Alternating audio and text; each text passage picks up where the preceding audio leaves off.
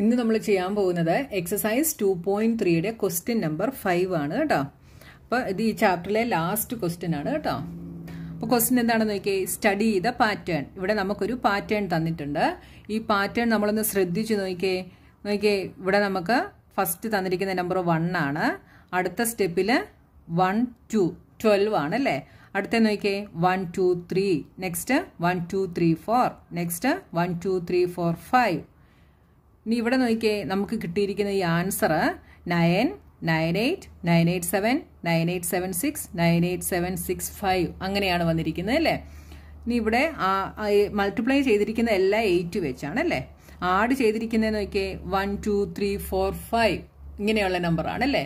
ഇനി നമ്മളോട് ക്വസ്റ്റ്യനിൽ പറഞ്ഞിരിക്കുന്നത് right the next two steps ഇതിന്റെ അടുത്ത രണ്ട് സ്റ്റെപ്സ് നമ്മൾ ഇനി തന്നെ എഴുതണം. ഈസി അല്ലേ എഴുതാൻ?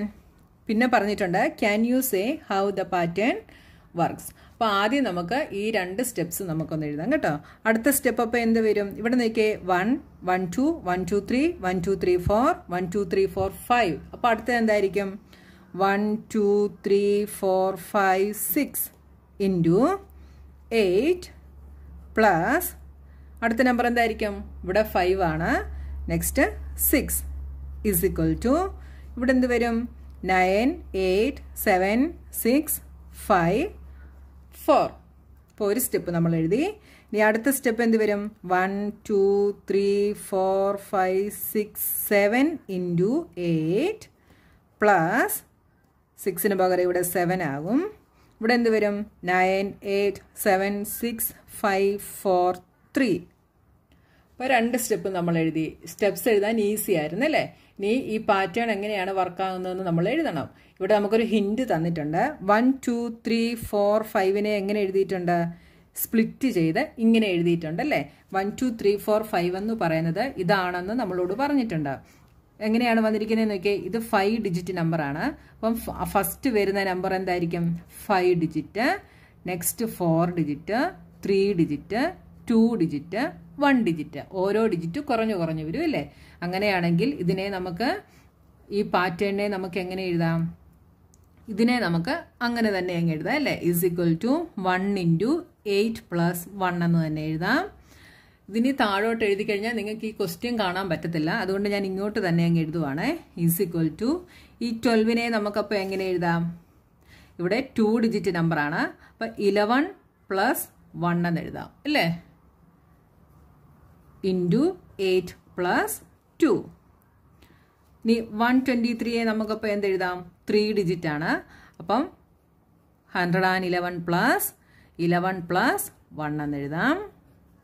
Into eight plus three is equal to ഇതിനെ നമുക്ക് എങ്ങനെ എഴുതാം?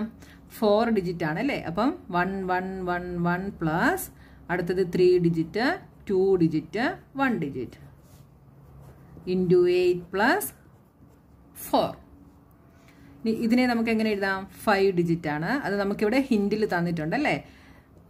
Five digit plus four digit plus three digit plus two digit plus one into eight plus five എന്ന് ഇതിനെ എഴുതാം. ഇനി ഇതിനെ നമുക്ക് എങ്ങനെ എഴുതാം? Is equal to six digit എഴുതണം അല്ലേ? Plus five digit plus four digit plus three digit plus two digit plus one into eight plus six ഇതിനെ നമുക്ക് എങ്ങനെ എഴുതാം? അപ്പോൾ ആദ്യം വരുന്ന നമ്പർ സെവൻ ഡിജിറ്റ് ആയിരിക്കണം അല്ലേ? One two three four five six seven plus one two three four five six plus one two three four five plus one two three four plus one two three three plus one two plus one into eight plus seven. മനസ്സിലായല്ലോ? Easy അല്ലേ ചെയ്യാൻ? അപ്പം നമ്മുടെ question number ഫൈവും കഴിഞ്ഞു. ഈ exercise full കഴിഞ്ഞു കേട്ടോ. ഇനി നെക്സ്റ്റ് ചാപ്റ്ററുമായിട്ട് നമുക്ക് നെക്സ്റ്റ് വീഡിയോയിൽ കാണാം.